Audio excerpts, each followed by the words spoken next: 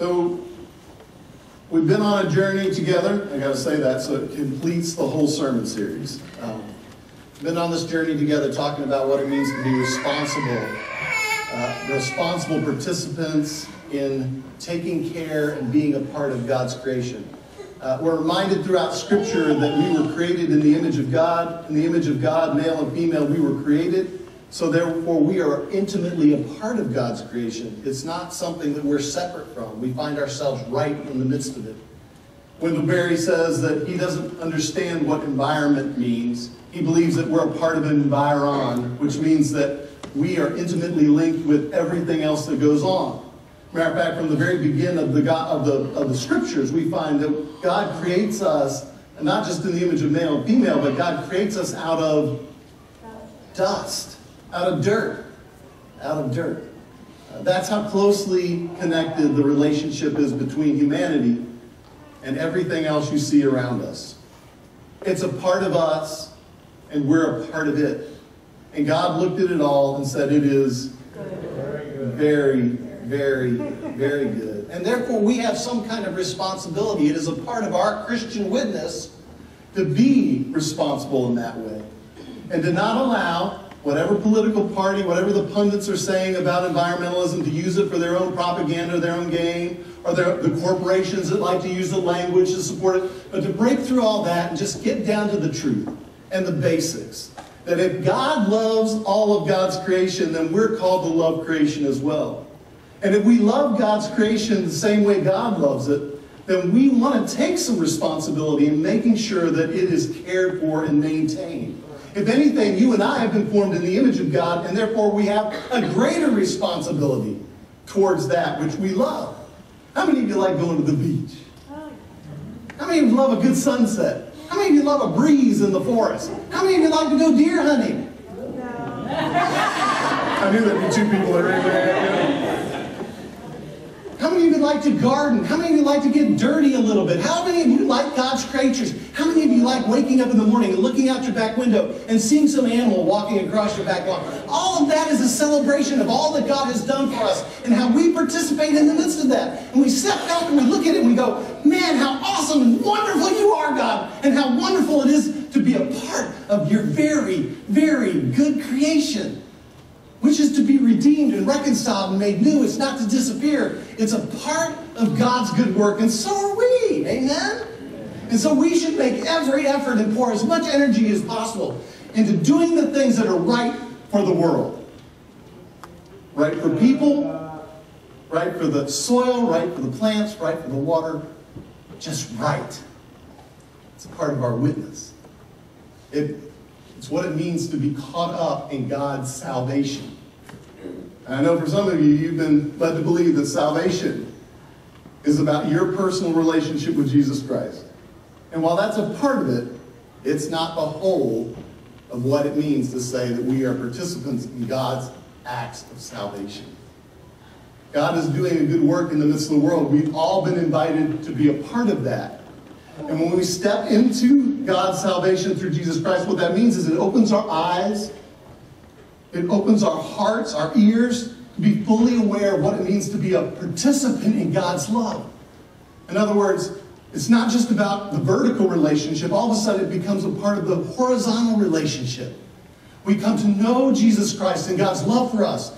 He liberates us from our darkness, our burdens, our sin. And he says, You are forgiven. He gives us the keys to liberation so that we can step to the next level and actually be participants in God's world, to actually share the good news of God's love with everyone we meet, and actually participate as an action of God's love towards caring for the good things that God created. Because there's an intimate balance in the midst of all of this.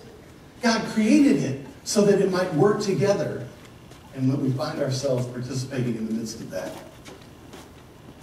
And that's why it's important to preach about this. That's why it's important to talk about this. Last week I said I was going to say something like, You're not going to hear this sermon downtown. You're not. You're probably not going to hear this message in a lot of churches because they think it's too political. I got news for you. We are participants in the politics of Jesus. And Jesus is more interested, he, he has a greater interest than just your own personal salvation. Jesus is interested in the redemption of the whole of creation. Amen. And so I got to thinking that's all theological, heavy stuff. But I think one of the struggles that we have within the church is that we've been kind of misled a little bit into thinking that this message that Jesus comes to bring is all about us. I got news for you. It's not just all about you. It's an invitation to a story bigger than yourself. You're being invited into something that God is doing, acting on our behalf. And we can either participate in that or we can sit and wait by the wayside. And part of the struggle that we have within the life of the church is that we've been led to believe that the most important thing is simply getting to heaven. In other words, that the primary focus of the church is to convince you of your burdens, your sins, and your brokenness, and get you right so that when you die or you leave this planet, you can take the holy escalator to a place called heaven. And so it creates this dualistic universe. And if you remember a couple weeks ago when we talked about one of the problems with talking about creation and, and environmentalism and creation care is that the church for so long has looked at the earth as being something that is depraved or evil or dark or wild or something that needs to be controlled. And I got news for you, it's not. It was not created that way.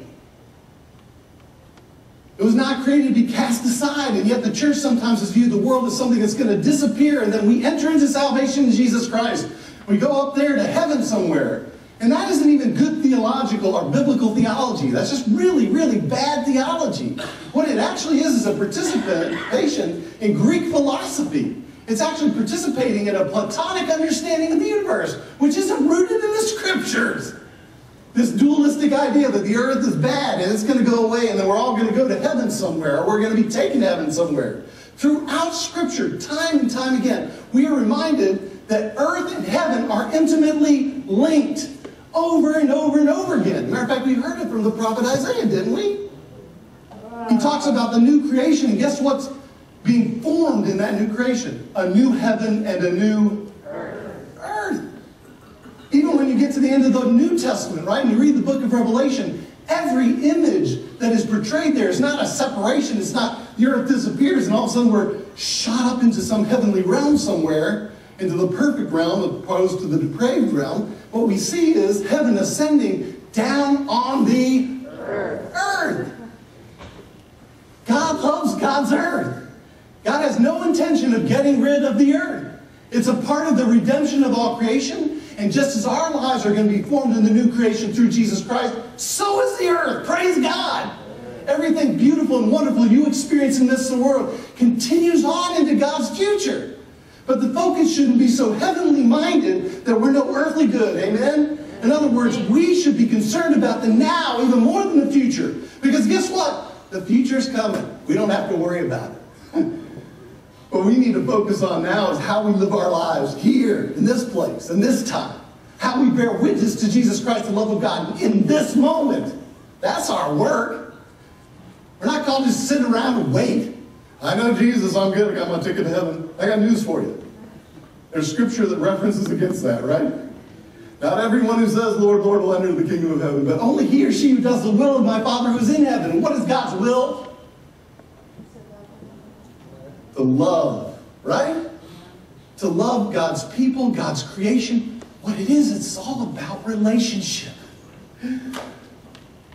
Well, that's a moment of epiphany, isn't it? The center, the core of my theology, the core, I think, a cornerstone is what? The meaning of life is? Relationship. It's all about relationships.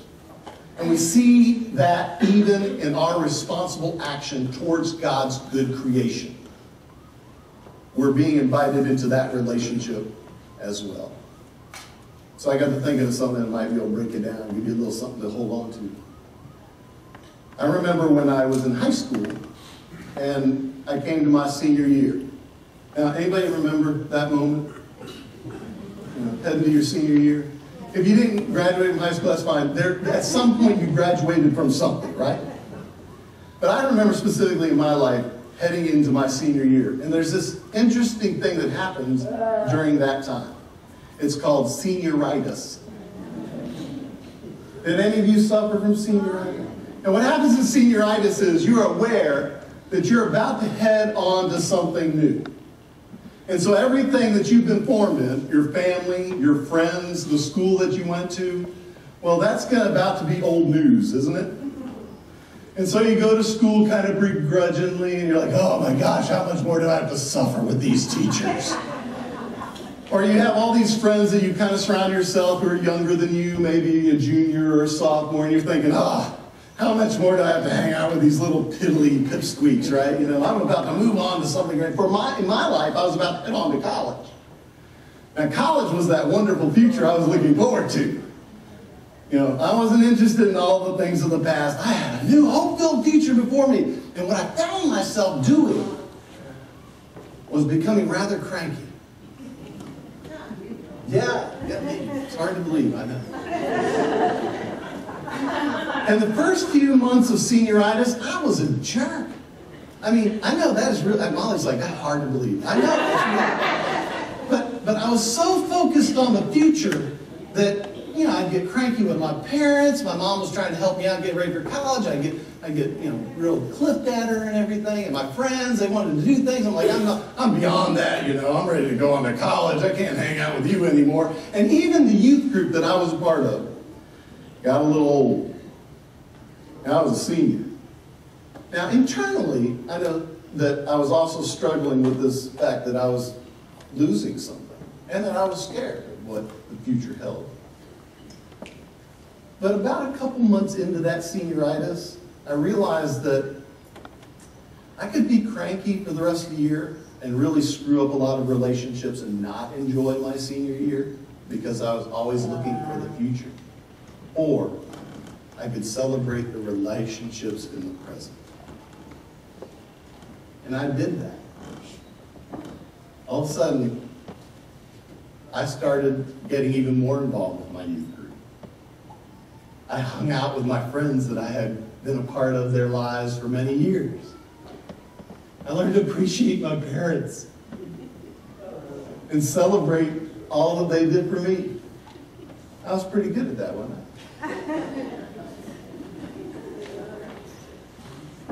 It's because I found myself living in the now that it made a tremendous amount of difference in the relationships in my life. I wasn't setting everything aside just looking for a future hope. I found hope and life in the present. And I think that's sometimes the way the church is, and the way that we view our relationship with Christ.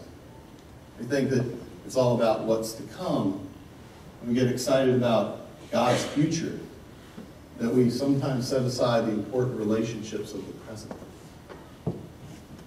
I know when we talk about the meaning of life being relationships, immediately a lot of times we head towards people, and people are important. But I want to say that that relationship is also with God's creation. It's with the earth, the plants, and the animals, and the soil, and the water. And just as much as God desires for us to have a healthy relationship with God and with each other, God also wants us to have a healthy relationship everything else in God's creation.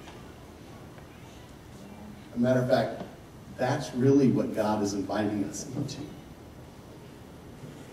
If you think about what makes for a healthy relationship, the first thing that makes for a healthy relationship is mutual respect. And when I when I'm talking about healthy relationship, you can you can equate it to anything in your life. Your kids, your coworkers, your spouse, and yes, the earth. The first thing in a healthy relationship is mutual respect. It's viewing the other person as an equal. And it's celebrating them. Because after mutual respect, a healthy relationship moves to this idea that we want the best for the other.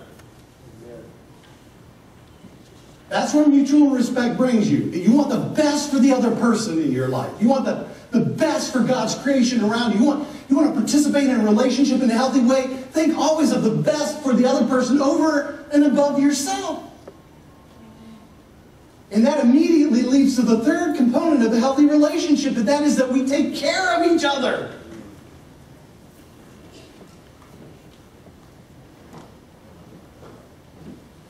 That we take care of each other.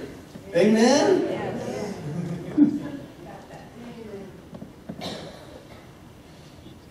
I think that's what it means to be a follower of Jesus. And that's what we're doing. Taking this journey of discipleship is all about. It's about being formed in those practices and those ways where we can live that way with God, with each other, and with God's earth.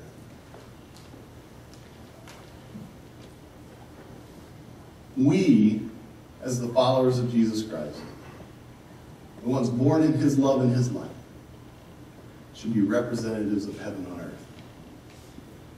And everything we do and what we participate in should bring light and life to everything else around us. And that includes the very earth.